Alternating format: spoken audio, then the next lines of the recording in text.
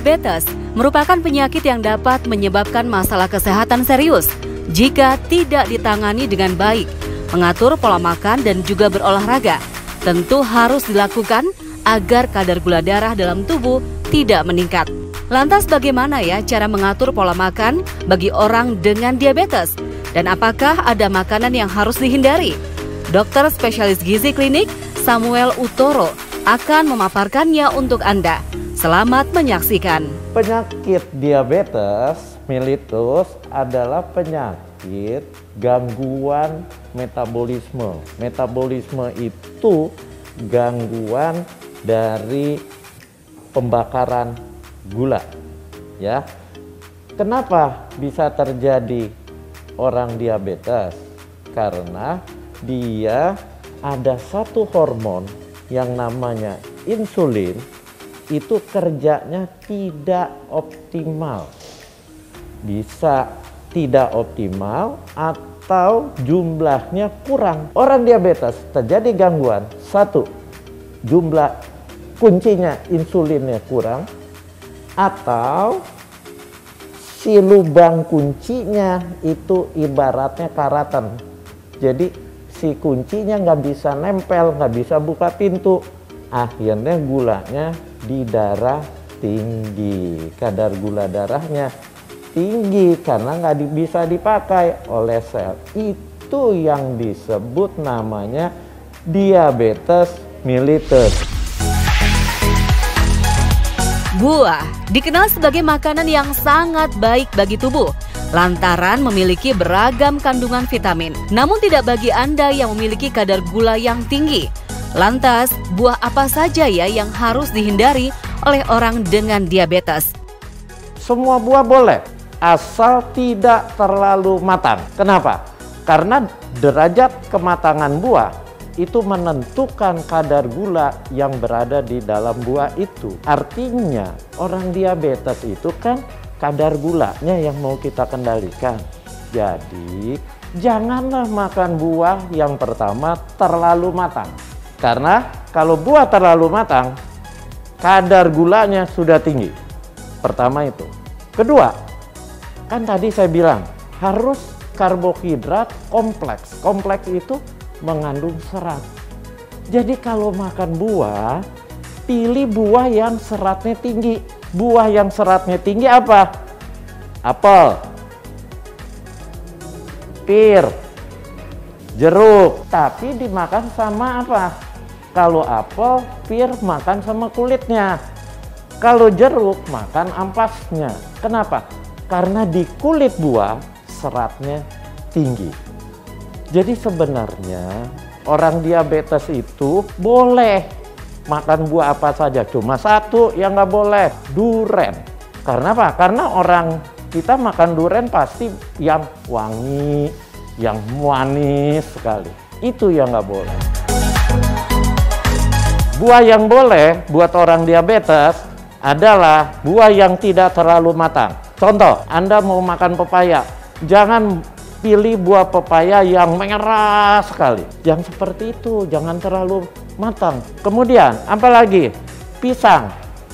Pisang ini memang tinggi gula, tapi kalau Anda makan pisang yang masih ada ijo-ijonya, kadar gulanya belum terlalu tinggi. Buah yang paling direkomendasi buat penderita diabetes, alpukat. Kenapa? Karena di dalam alpukat ada kandungan lemak, lemak yang sehat, yang namanya asam lemak omega 9. Kemudian apalagi buah yang dianjurkan?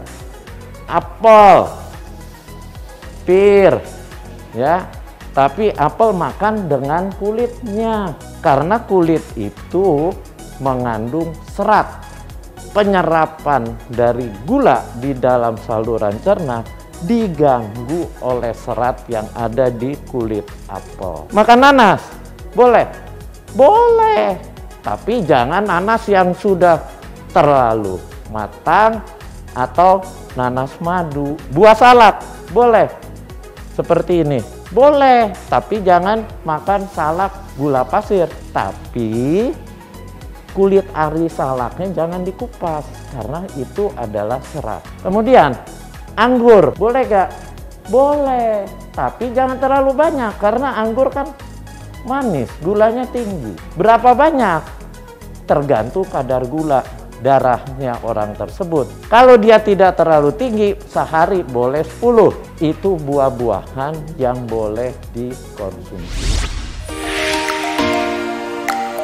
Di tengah pandemi saat ini, meningkatkan kualitas imun tentu harus dilakukan. Terlebih bagi Anda yang memiliki penyakit komorbid seperti diabetes dan rentan terpapar oleh bakteri dan juga virus.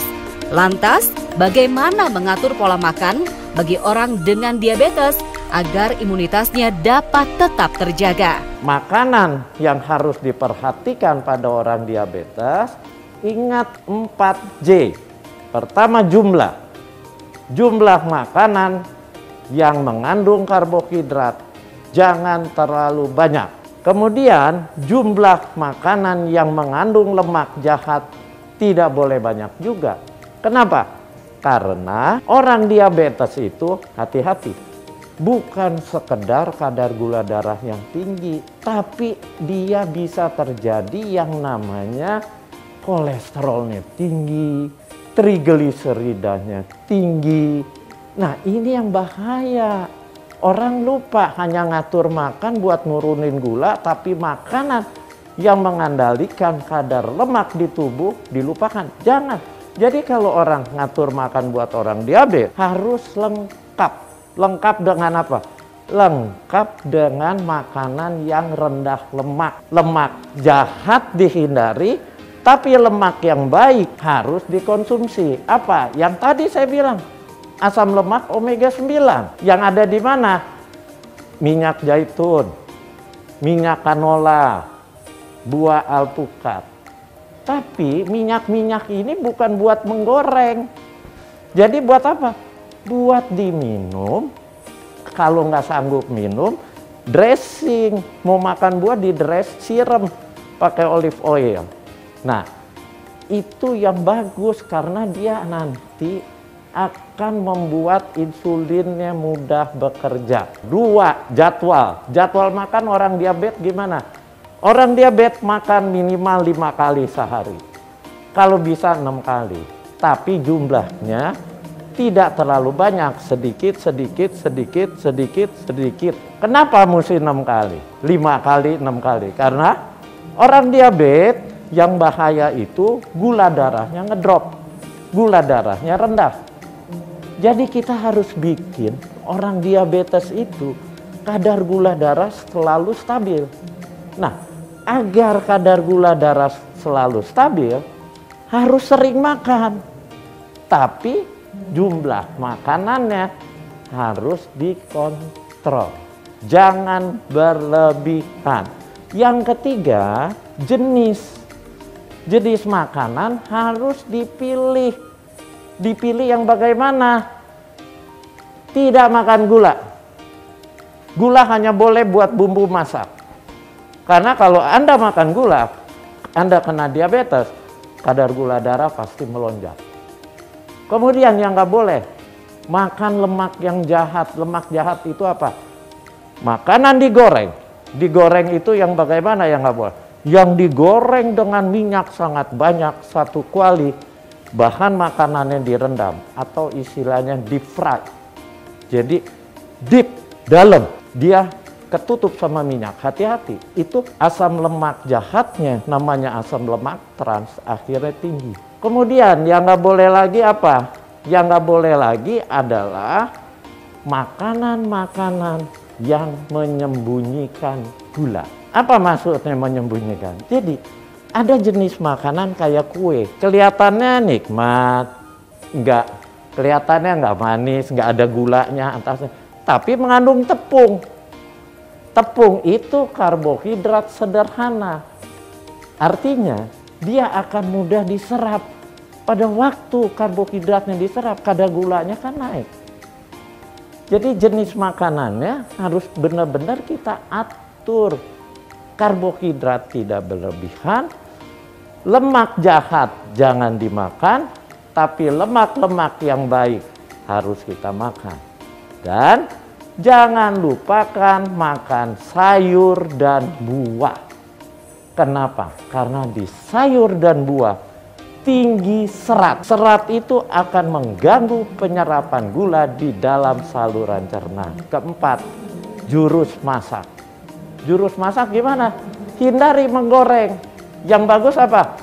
Bakar, pepes, dibuat sup, direbus, kalau mau numis boleh, tapi numisnya nggak pakai minyak. Minyaknya belakangan setelah diangkat dari wajan panas, taruh di piring, dressing. Minyaknya pakai apa? Yang tadi, olive oil, minyak zaitun, itu disiram. Itu bagus. Jadi makanlah selalu ingat jumlah, jadwal, jenis, dan jurus masak.